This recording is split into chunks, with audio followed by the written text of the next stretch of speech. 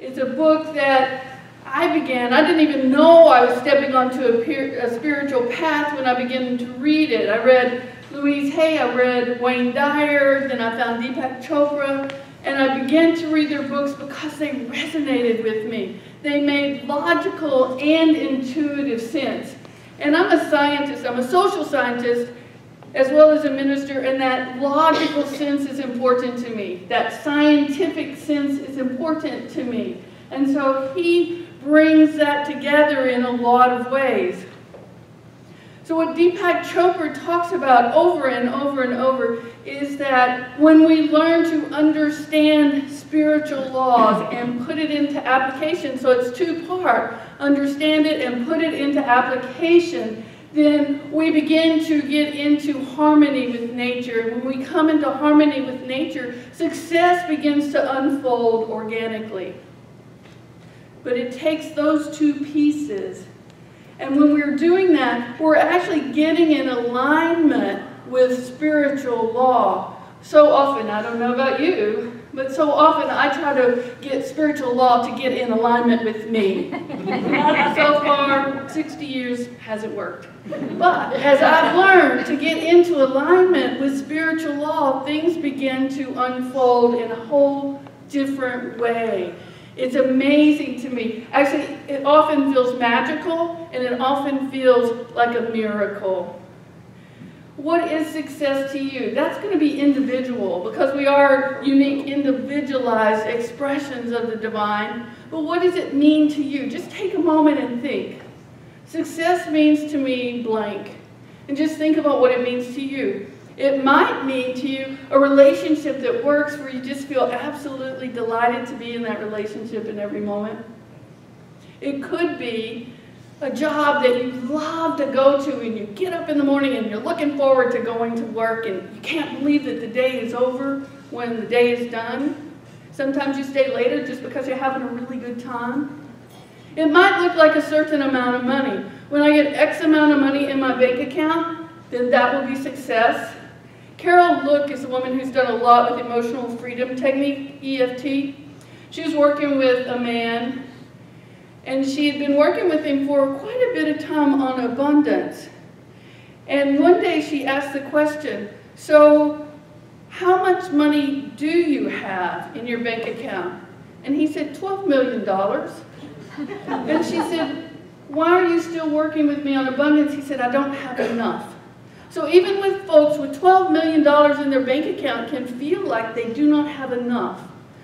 There's a number that we put to something.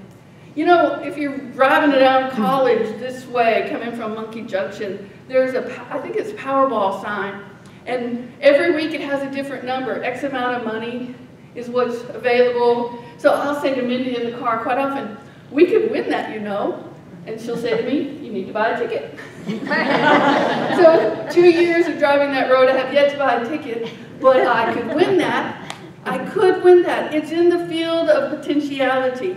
But I have to take the action to do it. So one of the things that Deepak Chopra calls the ultimate in success is this. I want to read it to you so I get you uh, understanding of his words. The unfolding of divinity within us the perception of divinity wherever we go and in whatever we perceive.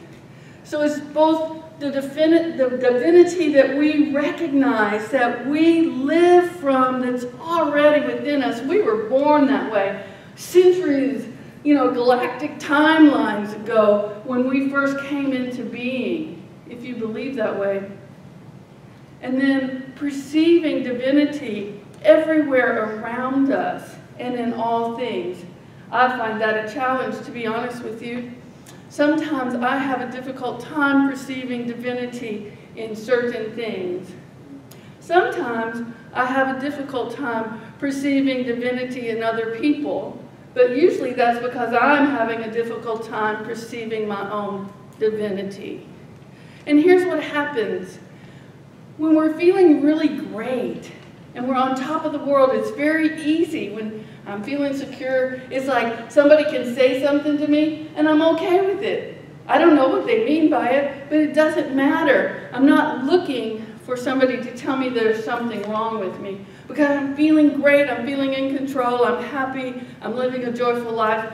But it's also easy to step over here where I'm feeling insecure. I'm feeling not good enough or there's something wrong with me. And somebody could say something, it could actually be the very same, same thing that was said over here, and I take offense at it. Because I'm not feeling so good. So my perception of myself will have something to do with how I read what's coming back at me. So it's a great opportunity for me to step back over here, to step back into my knowing of my divinity, to kind of pull it on, you know, like a shirt, pair of jeans, and get back into it so that I'm living from that place. And so that sometimes it takes that outer recognition for me to begin to live from that inner recognition.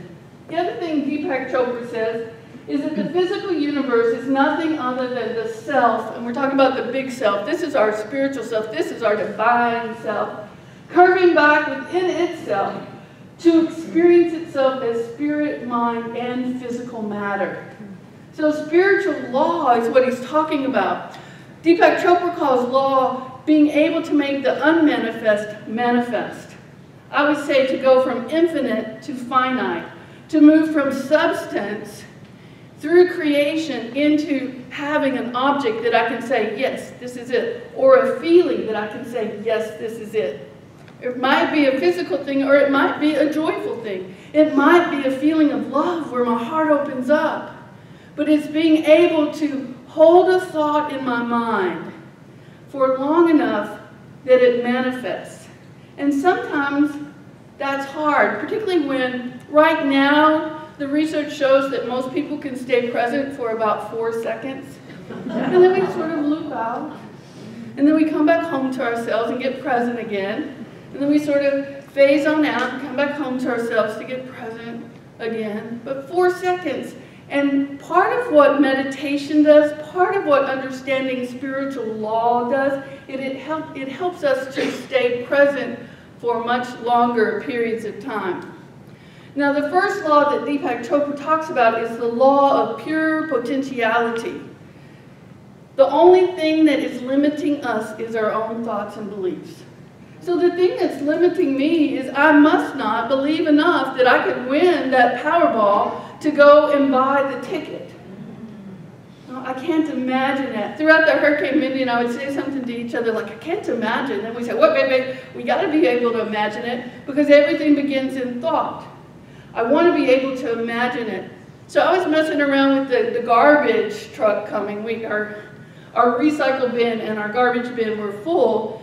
And I was saying, it's going to come, it's going to come. And people were like, no, it's not going to come. Yes, it is. I'm going to imagine that truck picking up that garbage. And you know what? That very day, the truck came and picked up that garbage. But we had, on faith, put that bin out there. And it was empty when we got home that evening. I was very happy to dance up the driveway with no garbage in the garbage bin. It felt like a miracle to me. It truly did. So the, Deepak Chopra says there are three things that move us into non-potentiality or pure potentiality. Silence is one of them, and this is a different thing than how we often talk about silence in unity. In unity, we, we talk about going into the silence, which is a lack of awareness of time or space or even sensation. It's pure beingness. Well, this is a step in that. And what Deepak Chopra is calling us to do is spend two hours every single day of our lives. Feels like a lot to me, you guys, but two hours every single day of our lives. No TV, no radio, no books, no music, just really being present with ourselves. And what he says is going to happen is our monkey mind is going to start going like crazy. And we're going to have all these thoughts and all these thoughts and all these thoughts, and they're going to intensify until we are willing to stay committed to that practice long enough that our mind calms itself down. And then he suggests that you go to three hours and four hours and eventually do some long times of one week or two weeks in a silent meditation. So when I was in ministerial school, I was invited into, as part of my grade, 24 hours of silence. I was living in Connecticut at the time, so I booked a room at a place called the Guest House in Connecticut because I knew living at home that I would have the hard time being in silence with Mindy because there's so many things to tell her. And I'd be wanting to talk to her. And I can just imagine I might last five or ten minutes in the silence because I would just blurt out something. So I wore a button that said I'm in the silence. And it was really nice because the guest house took care of everything. My meals were included. Everything was just taken care of. And I left it was getting ready to snow, so I left a little bit early. So I ended up getting home about an hour before that silence was up. So I walk in the door, and at that time we had four cats. And here they come to greet me, and I didn't even think, hey, it's so good to see you guys. Uh. And I said, oops, I'm not supposed to be talking to you. But it was back in those familiar surroundings, so it was so easy to fall back in those familiar patterns. And there went my 24 hours of silence. so I had to write that on the paper that I wrote, oops, this is what I did. Hmm. But when we get in familiar surroundings, sometimes we just drop back into old habits. And so being in silence, beginning to do things with meditation, help us to start to slowly shift those patterns. So the first one is that silence. The second one is meditation. What Deepak Chopra is talking about is to go into the space between the thought. He calls it the gap between the thoughts and spend as much time as we can in the gap. Here's how I look at it visually. I think about a series of buses coming along, but I'm not going to get on any of those buses. I'm going to slide between the bus and I'm going to be in the gap between the bus and come out on the other side and be in meditation. And that's how I think about it. But to be honest with you, I'm not there but for small pieces of time. And so there's some other things that we can do to practice meditation. One of them is mantra. Here's a mantra that says, its meaning is I am absolute existence. It's pronounced Om Varam Namah. Say that with me. Om Vibram Namah. Say it again. Om Vibram Namah. That's kind of a rhythm to it. I am absolute existence. So say that with me. I am absolute existence. The beautiful thing about a mantra is if your mind runs fast like mine, rumination, I call it, if your mind runs fast like mine and it's just tripping along in all kinds of different thoughts, a mantra can help you to focus it. It's done quite often in transcendental meditation. Usually the mantra is given by your guru. But we can do this without needing a guru, but if you want one, that's cool too. But Om Navam Baram, I didn't say right. Om Baram Namah. We can simply say it. We can say it aloud, or we can say it silently to ourselves. Uh-huh. Mindfulness meditation, which you hear a lot about of these days, Mindfulness meditation means a lot of different things to a lot of different people. But in this instance, I'm talking about focusing on awareness of where I'm at in this moment. What's going on with me in this moment? There's a Harvard professor that when she was a grad student, she started practicing mindfulness meditation. And she did it because of the frustration and the stress that she was experiencing as a graduate student. And what she found is as soon as she started practicing mindfulness meditation, she had a period of time with it. She had less stress in her life. She had more clarity in her life. She felt like she could think better in her life. And so as she graduated and started doing research, she chose to do the research on mindfulness meditation. Her name is Gaëlle Desbordes. So She's working on the mindfulness meditation. She's setting up clinical trials with it with folks who have depression to start with. There's 600, 6 million, wait, excuse me, there are 16.1 million people who have depression in the United States. And what she wanted to do was find a way to assist people to have less depression.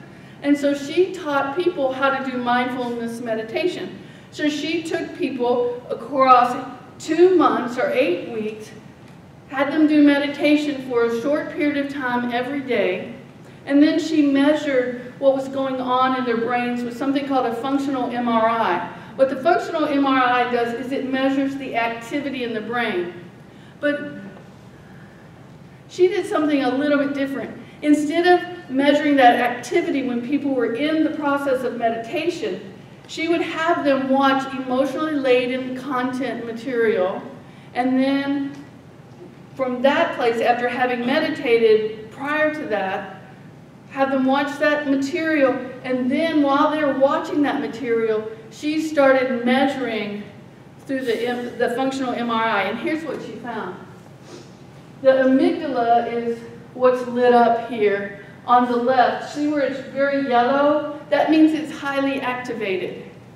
And after eight weeks of meditation, what she found was, first of all, the time in meditation assisted people in staying calmer, but watching the emotional uh, laden content and measuring after eight weeks, you see more red than yellow over here on the right. So the amygdala is less triggered. So we're people who are meditating are mediating their emotional states much better.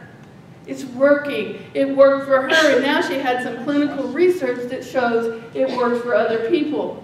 And what happens when the amygdala is fear and the fight or flight instinct, survival instinct, is what we see triggered in the amygdala. So it was helping people to feel less fear no matter what they were seeing in front of them.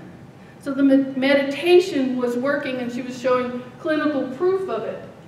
I want to share just one more instance of meditation. Uh, Indian researcher, his name was Dharma Khalsa, was doing kirtan kriyas. And so he was using the, the sounds sa, ta, na, and ma, and pairing them with fingers. The index finger, the middle finger, the ring finger, and the little finger. You go one way, you don't go both ways, but you just go one way. And he was pairing those sounds to a familiar tune. Mary had a little lamb. But he was only doing Mary had a. He was working with 60 to 77 year old people to look at their cognitive functioning. And so let's try that. Sa, ta, na, ma. Let's do it again. Sa, ta, na, ma. And what he found was across eight weeks, same period of time, across eight weeks, 12 minutes a day doing this was all it took to increase the cognitive function of the group that he was studying, to reduce the cognitive impairment, to increase the level of memory was simply doing this. Now we could sit in meetings where we're agitated and do this too, and it helps to calm us down. It's very easy to, to just do that. Actually, you can do it behind your back. Nobody knows you're doing it. It helps you. That's right. It helps you to, to be able to have a form of meditation that you can do anywhere. And I want to share a story that can illustrate this. There was a young man who's living in the Kentucky Hill, Hills with his grandfather. And every morning his grandfather got up, and every morning his grandfather would meditate. And he wanted to be like his grandfather. So every morning he would get up and he would meditate right alongside his grandfather. And one day he said to his grandfather, You know, I don't think anything's happening. I don't know why you do this, and I don't know why I do this, but I like being with you. And the grandfather was feeding the coal stove, so it was warming up in the, the cabin where they lived. And he put the last piece of coal in the stove, and he took a basket, and he said to his grandson, hey, would you run down to the river and get me a basket of water? The young man, wanting to please his grandfather, ran down to the river, and by the time he got back up to the house, guess what? Yeah, the water was gone. And the grandfather said, oh, there's no water in that basket. Go get me a basket of water. So the little kid runs down to the river, he grabs, you know, a basket full of water, he runs as fast as he can. And there's still no water when he gets there. And the grandfather says, Let come, I'll go outside with you. And he go do it again. And the kid runs as fast as he can. He wants to see that he's, his grandfather to see that he's trying to please him. And he gets the basket of water and he runs back up there. And you and I know there's no water in that basket. And he said, I don't know what I'm doing. I don't know why you're asking me to do this. And the grandfather said, look at the basket. Does it look any different? And the little boy held up the basket, and the basket was much cleaner. It didn't even look like the same basket covered with coal dust. Spending time in meditation is very much like that water. We're cleansing ourselves, we're clearing ourselves, we're changing our very thought patterns if we choose to change them by spending that time in meditation. And we have scientific proof that it changes our brain. And when we have a healthy brain, it makes a difference. I want to take the sa, ta, na, ma a little bit different and show you. This is a SPECT graph. Before and after meditation, eight weeks. A SPECT scan was taken. What SPECT scans show, Daniel Amen does a lot of this work. What SPECT scans show is across a period of time the blood flow in the brain. And on this left-hand side, where you see these dark spots and some holes, what that means is blood is not flowing in the brain in those locations as well as it's flowing where it's that pretty purple and blue. And when you come back over here to the after, eight weeks, 12 minutes a day of meditation, you see how the, a lot of those holes have filled in? That's the impact of meditation on our brains. It helps us to clear our cognitive process. It helps us to mediate emotional states. It helps us to stand strong in who we are and in our divinity. This is the outcome of living in that pure potentiality. And when we are willing to do that, to live in those spiritual laws, we're open to possibility. I really might win someday. The day I buy a ticket, or someday after that, expand our consciousness and recognize our power. We no longer have to be at the effect of what somebody else thinks of us. We no longer need to be at the effect of our own emotional states, which are kind of like the waves, they float around. Have you ever started a day feeling really good, and then something happens, and you're not feeling so good anymore? If we just took 12 minutes to go into meditation, we could come back to that state of feeling good. And as you get practiced, it doesn't even take those 12 minutes. We can live in the expectancy of seeing the divine in everything. It'd be like Christmas every morning. You know, that expectancy, that wonder, that fascination that you have as a kid, that is available to us in every single moment. It's living that expectancy of the divine and seeing it show up and getting delighted by all of the different ways in which it shows up. If you're interested in this, I'm going to invite you to affirm with me, I am the presence of God in action in my life. We're standing in our power. So if you're interested, let's say this together. I am the presence of God in action in my life. We're going to sing our way into meditation. Linda Thunberg is going to come up and lead us into meditation.